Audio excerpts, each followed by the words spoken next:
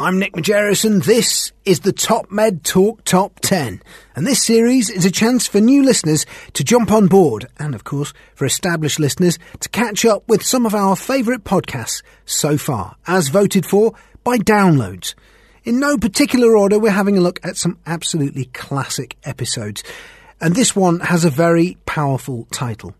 It's called I Want to Dance at My Daughter's Wedding.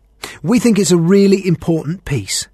Have a listen. Top Med Talk. Thank you for having us. Uh, my name is Kevin Bozic, and as was mentioned, I'm a chair of surgery and perioperative care at the Dell Medical School at UT Austin. I'm an orthopedic surgeon, and I have, throughout my career, really tried to gain a better understanding of the impact of what we do in the healthcare profession on our patients, and I was frustrated by the types of tools that we were using to measure that process measures, structural measures, and those are not things that resonated with my patients. As an orthopedic surgeon, my goal is to improve the health of the people that I treat by optimizing their quality of life, reducing their pain, and improving their function. And I learned early on that uh, the only way to improve those is to measure them and measure them rigorously uh, in every patient and every encounter. And so I've been on this journey now for about 15 years and um, uh, have been through uh, the the uh, evolution that's occurred um, in this country, and I'm very uh, optimistic and enthusiastic about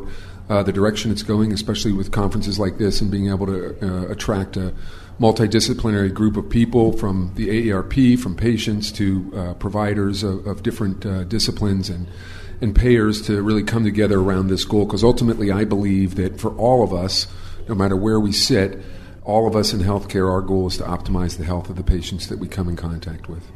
And Eric, can you tell us a little bit about what you do and, and why value based care matters to you? Well, I have the privilege of being the uh, volunteer president of AARP, and I serve on the National Board of Directors. And my position gives me the great pleasure of going out and meeting our members and the communities in which they serve throughout the country they're just a great group of people who really want to make life better in a variety of ways for people, you know, not only those 50 plus, but their children in particular.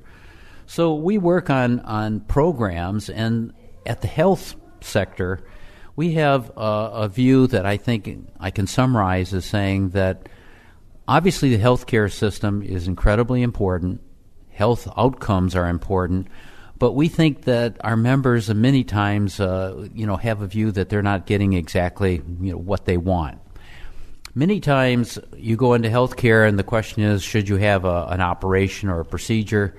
But our members really tell us that they want they want health so that they can do something. The famous example, a woman said, "I want treatment so I can dance at my daughter's wedding. I want to be happy. I want to be fulfilled." And so to do that, what AARP is finding is that there are a number of practical measures that we can push for. We can't do everything. One of the measures is people benefit from having a health professional who works with them, helps them navigate through the health maze, uh, get them the things that make their life better.